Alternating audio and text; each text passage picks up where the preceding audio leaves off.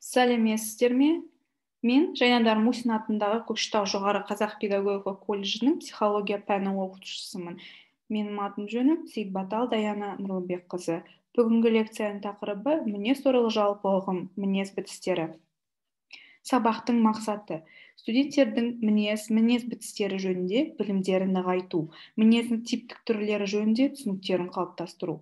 Жоспар мінез туралы жалпы ұғым мінез бітістері мінездің типтік тістері және психогеометриялық тест пен саусақтар арқылы мінез анықтау тестісі. Мінез. Аристотельдің шәкірті ежелгі грек философы теофаст адами ерекшеліктерін жүйелеп мінездің отыз қасиетін көрсеткен. Мысалы сайқал жасампаз сөзшең және тағы басқа. Теофраст өзінің эстетический характері тракты арқылы ғылымға мінез деген терминді енгізген. Мінез грекше аударған кезде қасиет сана дегенді білдіреді. Кейіннен француз жазушы лабрюер ұзақ уақыт бойында зиялы қауымның қылықтарын бақылай келе мінездің мыңнан аса типтік қасиеттерін сипаттаған. Психологияның басты мақсаты тұлға мен мінезді зерттеу деп есептеген лазурский. Мінездің мәнін құрылымын типтерін және дамуын қарастыратын психология ғылымының бір саласы мінезнаманы жасады. Мінез туралы түсінік. Мінез адамның негізгі өмірлік бет алысын және оның өзіндік әрекетінің айырмашылығын сипаттайтын сапалы өзгешелік. Мінез дегеніміз адамның белгілі жағдаяттарда жасайтын типтік әрекеттерін сипаттайтын тұрақты даралық ерекшеліктердің бірлігі. Мінез бітістерін топтастыруға болады екі топқа топтастыруға болады болады. Бірінші топ бұл адамдардың басқалармен қатынасын білдіретін мінез бітістері адамгершілік қайырымдылық адалдық қатыгездік тұйықтық зымияндық деген бітістерді жатқызуға болады.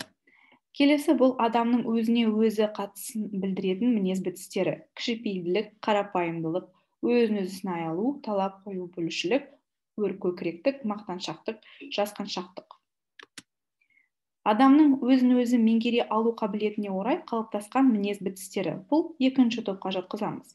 Бұл топтың мінездің еріктік сапалары немесе мінездің жотасы деп атайды. Ерік сапалары екіге бөлінеді. Күшті сапалары және әлсіз сапалары. Күшті сапаларына жатқызылады батылдық шыдамдылық тәртіптілік жинақылық және ерлік. Ал әлсіз сапаларға қаңырлық ұстамсыздық жүрексіздік. Типтік мінез, мінез бітістері отансүйгіштік мақсаткерлік борыш пен жауапкершілік мейірімділік пен ізгілік адалдық пен шыншылдық және достықты жатқызамыз. Келесі бұл психогеометриялық тест. Бұл жерде сіздер бір геометриялық фигураны таңдаңыздар. Фигураны таңдағаннан кейін біз қорытындыға назарды аударамыз. Қорытындыны толықтай оқу үшін видео таспаны тоқтатыңыздар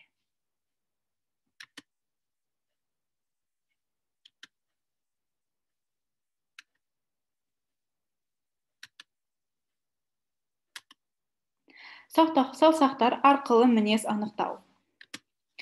Саусақтарыңызды бір бірімен айқастырыңыздар. Осылай айқастырып көріңіздер. Егер оң қолыңыздың бас бармағы сол қолыңыздан бас бармағының үстінде жатса параққа екі деп жазыңыздар. Егер сол қолыңыз үстінде жатса бір деп жазыңыздар. Бір көзіңізді жұмып кез келген нысанға дәлелдеп көздеңіздер. Егер сол көзіңіз ашық қалса бір санын жазыңыз. Егер оң көзіңіз ашық қалса екі санын жазыңыз. Қолыңызды кеудеңізге айқастырыңыздар. Қай қолыңыз үстінде жатыр? Былай айқастырыңыздар. Егер сол қолыңыз саусақтары оң қолыңыздың үстінде жатса бір сан жазыңыз. Егер оң қолыңыздың үстінде жатса екі деп жазыңыздар. Көлденең шапалақтаңыз. Егер сол қолыңыз үстінде болса бір деп жазыңыз. Ал оң қолыңыз болса екі деп жазыңыз. Қорытындысын сандардың орналасу тәртібі бойынша анықтаңыз. Және де осы қорытындыны оқу үшін видео таспаны тоқтатыңыздар. Адамның басына қонған бақыттың тұрақты болуы жақсы мінез құлыққа байланысты.